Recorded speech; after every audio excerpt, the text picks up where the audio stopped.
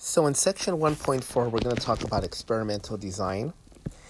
Now, there's two ways to kind of gather data, observational and experimental. We're going to mainly focus on observational, but it's worth talking about experimental, especially if you're going to be a social science major and you're going to take uh, an upper division stats uh, course. Um, it's worth kind of looking at the, uh, the, the overall outline of that.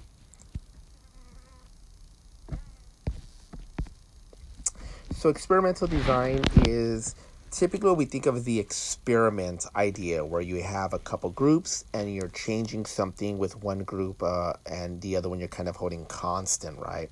So uh, experimental design is we're looking at an independent variable and an explanatory variable. So there's going to be something that we're kind of measuring or tweaking, and then we want to get an outcome. So for example, in a statistics class, whether uh, the type of technology you have could um, uh, be related to your overall grade in that case. So uh, I could give one group, a one class, um, a graphing calculator, and then I could have the other class do it completely manually. So independent and explanatory variable. So independent variable there would be whether they're using tech, the type of technology. The explanatory would be the grade that they actually get and we sometimes refer to those as dependent uh, variable or uh, response variable, respectively. Uh, one thing you want to be cautious of is a lurking variable. So it is very difficult to try to hold everything constant except for that one thing you're altering. I can't just uh, uh, focus everything on the technology. It's possible that students might have financial reasons um, they might be working a lot, or there's all these other factors that could play a part into that. So we want to be cautious of that and be careful what we call these lurking variables. So something else that might affect it that we probably didn't look into it. So observational study. And so an observational study is something that where you're not really in uh, you're not really influencing or changing, altering uh, the group. So here we have a, a survey that we do. We ask a, uh, a couple thousand adults how they go online. Now, even though I'm interacting with them and I'm getting that information, I'm not changing or tweaking anything. I'm I'm just listing the results they have. So we call that an observation, or I'm just noting the results and I'm going to go ahead and collect that. Now, that's different than an experiment where I'm actually going to affect one of the groups, so the control group there. So here I could have uh, two different groups. So we have about uh, two groups of roughly about 200,000 uh, in each group.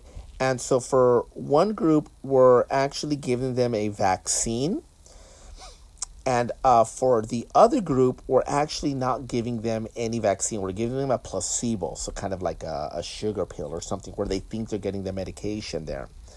And uh, so there's that one thing that we're tweaking. Everything else we're going to try to hold constant, but there's one thing that I'm actually changing. And so that's what we actually call an experiment. That's the main difference there. And a couple of things on an experiment is we talked about this placebo, and we want to make sure that it's blinding. So I don't want someone to know whether they're taking uh, the vaccine or not, because if they know they're not taking the vaccine, they know they're not getting healthier. And uh, this seems a bit harsh. Uh, again, we don't always have to give them a fake drug. They could be comparing to an old drug and then a new drug as well, or a new treatment uh, that we have.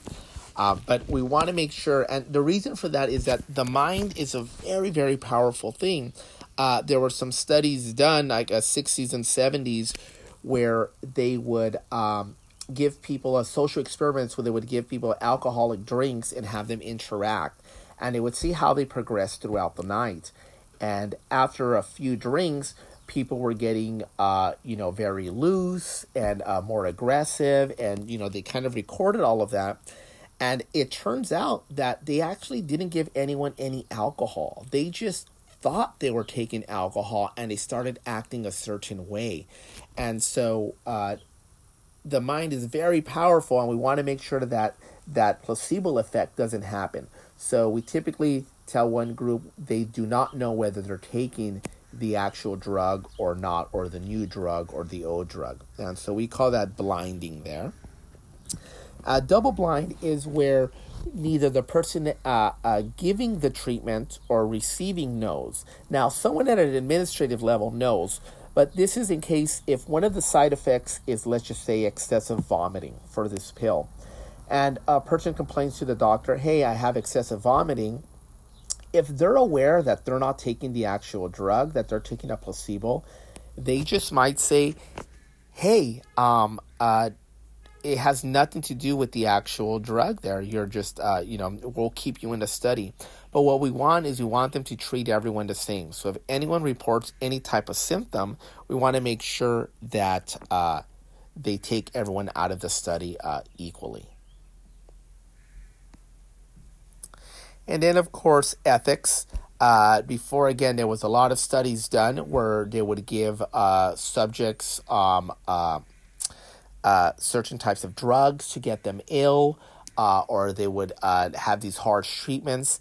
And we want to make sure that we're not administering anything of that. So there's a moral now of ethics that we want to make sure we follow uh, when we do that. So there are some guidelines, but we want to be very, very cautious with that.